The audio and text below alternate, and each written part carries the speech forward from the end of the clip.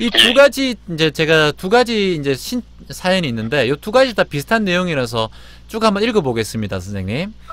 예. 예, 다름 아니라 이제 송찬이 님인데요. 제가 자꾸에 가위에 눌리고 잠을 자다가 이상한 목소리가 듣기도 하고, 아, 누군가 저를 감시하는 느낌이 들기도 하고, 아, 근데 부모님은 그냥 헛것을 본 것 같다라고 이렇게 해주셨고, 근데 이상한 소리가 계속 들리고, 이런 내용이고요. 하나는 무섭고 잠이 잘 안 온다. 또 한 분도 아, 30대 후반 남성인데 저는 다른 사람들 앞에서 말하는 게 너무 힘들다. 심장도 두근대고되고 땀이 많이 나고 그리고 남의 앞에서 많이 떨고 친구들 앞에서는 문제가 없는데 그리고 뭐 목소리가 많이 떨게 되고 회사에서 브리핑할 때도 어, 다른 사람 직원들 킥킥거리고 웃고 부장님들과 다른 생각의 지적들도 많이 있고 그러다 보니까 스스로 너무 위축되고 이제 채화님 어떻게 하면 고칠 수 있을까요? 이런 내용들도 이제 저한테 보내주셨고 원장님하고도 같이 이렇게 얘기하고 있는데 제가 볼 때는 지금 위에 그 저기 어 우리 가위에 계속 눌리고 이분은 기가 허한 건가요? 이런 경우. 이제 그런 네. 그런 부분 이렇게 우리가 그 피곤하게 되거나 열이 너무 많이 나거나 그러면 네. 헛것이 보일 때가 있죠. 아 헛것이 보일 때가 있죠. 예, 예. 이제 그런 네. 것들을 가지고 이제 기, 기가 허하다니까 결국 내 몸의 기능이 떨어지는 부분에서 증상이 오시는 것 같긴 한데요. 네. 근데 이제 제가 두 가지 사원에서 공통적으로 말씀, 아, 좀 다른 사연이긴 하지만 말씀드리고 싶은 거는 네, 뭐냐면, 비슷하죠. 예. 예. 첫 번째 분도 결국은 이제 명상을 할 때도 이제 그런 소리가 들린다고 얘기를 제가 네. 이제 사연을 미리 봤거든요. 예, 그러면 의식이 있는 상태에도 이런 소리가 들린다는 얘기인데요. 그렇죠. 네. 이제 그런 부분이나 지금 두 번째 분도 남하고 그냥 1대1로 얘기할 땐 괜찮은데 네. 근데 앞에서 얘기를 할 경우는 이제 너무 그런 부분들이 떨리고 힘들다고 말씀을 그렇죠. 하시는 부분들이 있거든요. 예. 예. 그럼 그 두 가지의 공통점으로 제가 말씀드리고 싶은 거는 네. 지금 내가 명상을 할 때나 앞에서 발표를 할 때그 네. 부분에 집중을 더 하시는 게 더 중요할 것 같다. 음.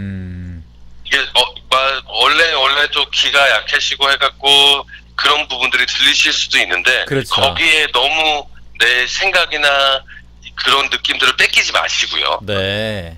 두 번째 있는 분도 내가 발- 남들하고 얘기할 때 문제가 없다고 하면 그분은 말씀을 잘 하시는 거거든요. 네, 그쵸. 예. 예, 근데 앞에 나가게 되면 내가 앞, 앞에 나가서 이런 얘기를 할 때 다른 사람들이 어떻게 생각할 거라는 그런 상상이나 생각 때문에 둘, 두분 다 힘드신 거거든요. 그러면 지금 예를 들어서 이런 경우 있지 않습니까? 뭐 어떤 큰 대회나 어떤 예, 예. 그뭐 브리핑을 해야 되고 이런 경우 우왕 청심원인가요? 뭐 청심원을 예, 예. 먹는 건 어, 어떤 효과가 있는 건가요? 먹어도 되는 건가요? 그 렇죠. 이제 그런 부분들이 어떤 거냐면요. 네. 우리가 강심장이라고 한다면 네. 우리 표현 중에 네. 아, 저, 친구 참 강심장이다. 강심장이다. 그쵸. 예. 안 뜬다는 거죠. 그쵸. 안 떨지 떨죠. 않는다는 예, 거죠. 예. 그 얘기는 이제 우황청 심원이나 이런 얘기들은 뭐냐면 심장을 강화하기 때문에 아, 심장을 강화하군요. 예, 그러니까 내가 어떤 상황에서 누구나 털리지만 음. 이겨내기 쉽게 도와준다는 거죠. 음. 근데 지금 우리 같은 경우도 사실 저도 이제 무대에 매일 서는 그런 직업이잖아요. 그렇죠. 그리고 또 방송도 이렇게 하고 있고. 예, 근데 중요한 거는 이 이미자 선생님이나 조영필 네. 선생님 같은 경우도 노래할 때 무대 50년을 섰지만 떨린다고 하거든요. 그렇죠. 이건 어떤 다- 책에 예. 제가 본게 예. 오바마가 연설을 정말 잘하잖아요. 그렇죠. 자- 잘하죠. 예. 오바마도 떨린다라는 책을 제가 본 적이 있어요. 그러니까요. 항상 무대는 이제 예. 무대는 떨리게 하고 이게 이제 당연한 건데 거기에 그렇죠. 계속 너무 동현 씨 같은 경우 는 집중을 하다 보니까 그렇죠. 누구나 다 오는 건데 거기에 더 집중하면은 이게 파장 효과가 되어서 그런 에너지가 더 커지거든요. 그렇죠. 그래서 지금 저는 이제 회사의 브리핑 같은 거 지금 이제 제가 꾸준하게 하다 보면 분명히 이거 안 떨릴 거야. 아마 나중에도 이제 연습을 하다 보면 안 떨리는 경우는 없겠지만 떨림이 많이 줄어들겠죠. 그렇죠. 지, 예, 지금은 누구나 계속 떨리지만 떨리지 떨림에도 불구하고 내가 지금 얘기할 거, 예, 네. 내가 바- 내가 발표할 거, 내가 노래하는 부분 여기 집중하다 보면 네. 세상에 영원한 건 없기 때문에 그런 부분들은 지- 그 흘러가게 되고 예. 사라지게 되거든요. 그렇죠. 그렇죠. 예, 제가 안 그래도 제가 지금 뭐 한 1,500회 정도 공연을 지금 하고 있지만 한 예. 900회, 700회, 800회까지도 계속 마음이 많이 이렇게 떨리고 막 그랬었거든요. 그러니까 예, 그, 10년을 그러셨을 것 10년을 같아요. 넘게 해도 그런 마음이 드는데 지금 그쵸. 이제 지금 뭐 사람들 앞에서 이제 조금 떨리고 힘들고 이런 것들은 충분히 어, 이겨낼 수 있는 것 같아요. 지금 자기가 그런 떨림을 알아차리는 거 이제 명상으로 이제 알아차린다고 하는데 그렇죠. 그런 마음을 내가 아, 느끼고 있구나. 이러면 안 돼라고 하고 그 예를 들어서 이런 마음이 일어나면 안 돼. 난 안 돼라고 하면 부정적인 사고는 뇌에서 더 집중되어서 그걸 작용을 해서 더 크게 일어나게 하거든요. 맞습니다. 그래서 그걸 인정하고 아 내가 떨고 있구나.